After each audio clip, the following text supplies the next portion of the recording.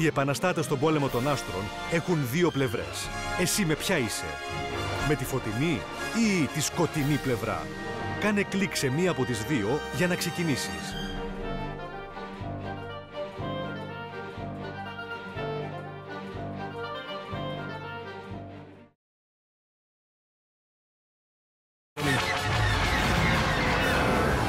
Ζερ, ο στόχος το 270. Τον βλέπω. Καραμπάστ! Σημείο 3. Κέιναν, δύο στόχοι στο 185.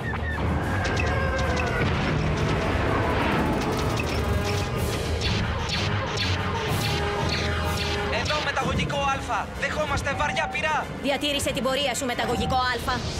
Κάνε κλικ στο σήμα για να διαλέξεις την άλλη πλευρά.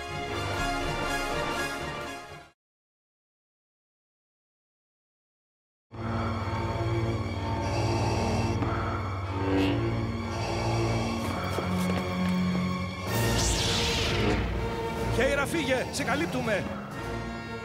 Κέιναν, πρόσεχε!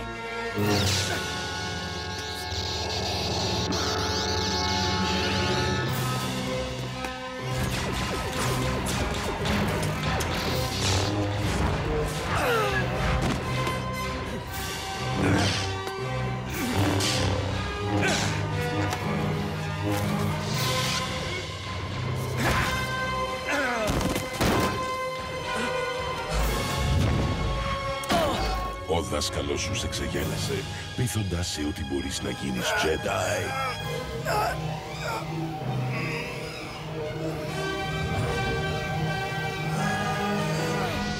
Κάνε κλικ στο σήμα για να διαλέξεις την άλλη πλευρά.